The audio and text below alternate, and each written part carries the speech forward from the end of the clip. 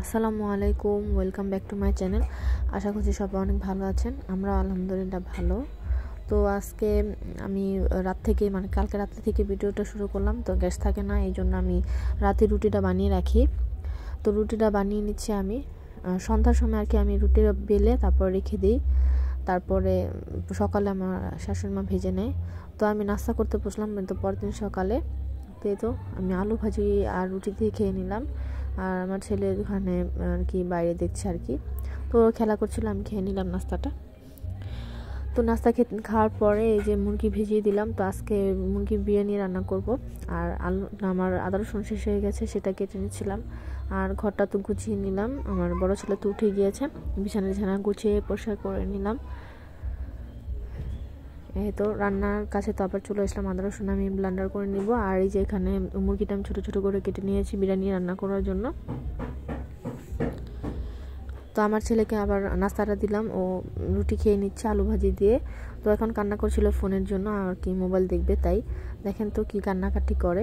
আর আমি তো একটু ভিডিও করছিলাম, তো ও ভিডিও করতে দেবে না। তো যাই হোক আর কি দিয়ে দিলাম ওকে একটু দেখিয়ে।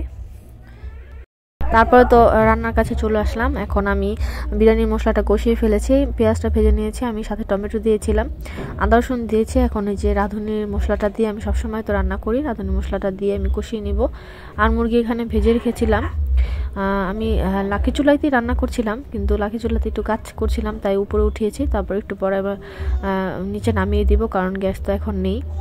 তো একটু জালে আর কি রান্নাটা তো হবে না। যাই হোক, আমি মশলাটা ভালো করে কষিয়ে নিলাম।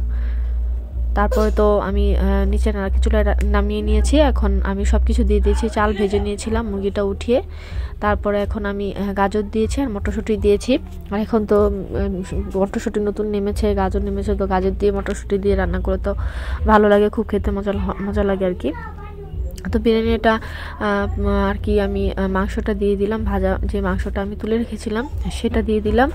তো এখন মিশিয়ে দিব, ভালো করে মিশিয়ে দিয়ে আমি দমে দিয়ে দিব।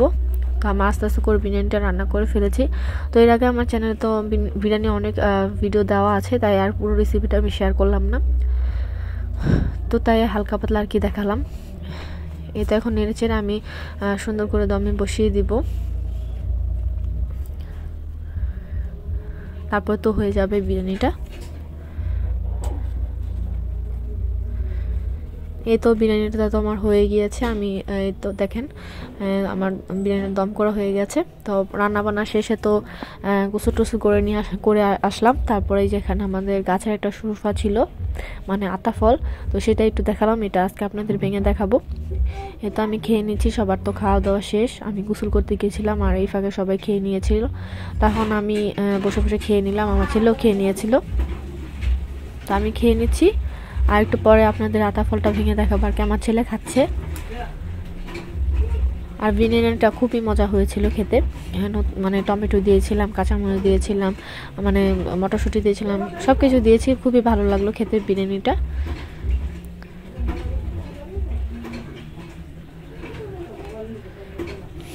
তারপর আমি দুপুর নাস্তাটা সরি দুপুরের খাবারটা আস্তে আস্তে করে খেয়ে নিলাম।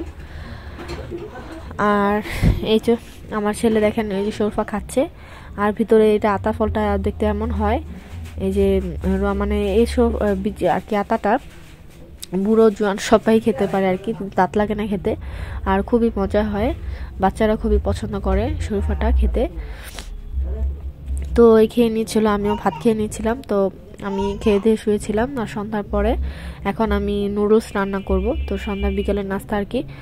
মটরশুঁটি নিয়েছি, পেঁয়াজ কুচি নিয়েছি, কাঁচামরিচ নিয়েছি, আর এই মশলাটা নিয়েছি। আমি আজকে কোকড়া নুডলস রান্না করব। তো আমি আগে সব কিছু সিদ্ধ করে নিয়েছিলাম আর কি। আমি এখানে দিয়েছি গাজর, আলু আর বাঁধাকপি।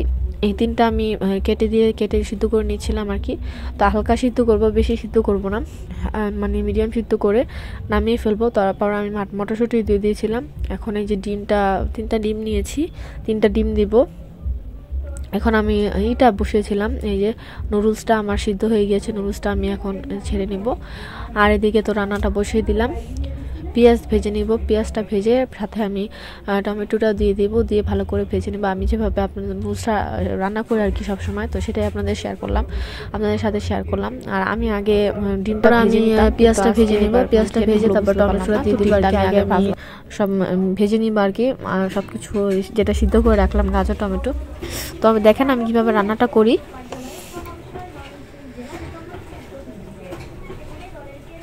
টমেটো দিয়ে দিলাম। তো আমি আস্তে আস্তে করে রান্নাটা করে ফেলব।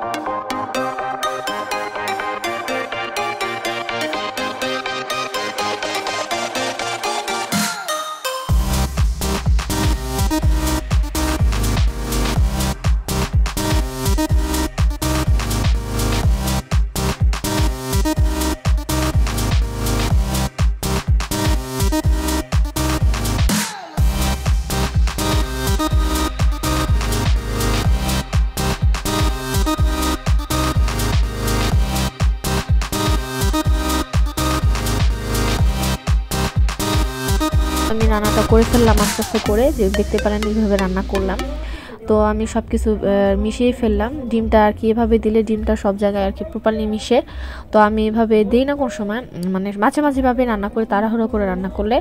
আর ওইভাবে রান্না করলে আমি ডিমটা আগে ভেজে নিই মানে যেভাবে আমার ফ্রাইড রাইস রান্না করি, ডিমটা আগে ভেজে রাখি। তো সেরকম করে স্ক্রাম্বল করে নিই আমি ডিমটা। কিন্তু আজকে আর ডিমটা স্ক্রাম্বল করিনি, এভাবেই দিয়ে দিলাম।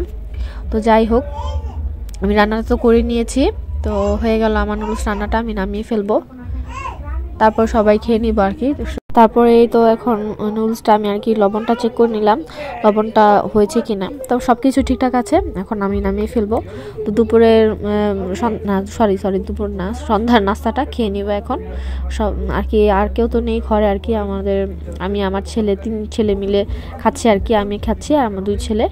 তো যাই হোক, এই যে ওদের খাইয়ে দিচ্ছি আর আমার ছোট ছেলে তো নিয়ে টানটানি শুরু করে দিয়েছে। আমার সব কিছু নিজের হাতে খেতে চায় মাসাল্লাহ এই অভ্যাসটা আসলে ভালো বাচ্চাদের। আর আমার ছোট বড় ছেলে তো হাত দিয়ে খেতে পছন্দ করে না। আমি খা, আমাকে খাইয়ে দিতে বলে সব সময় তো আমার ছোট ছেলে আবার বিপরীত, পুরো উল্টো। তো ও নিজের হাতে সব কিছু খেতে চায়।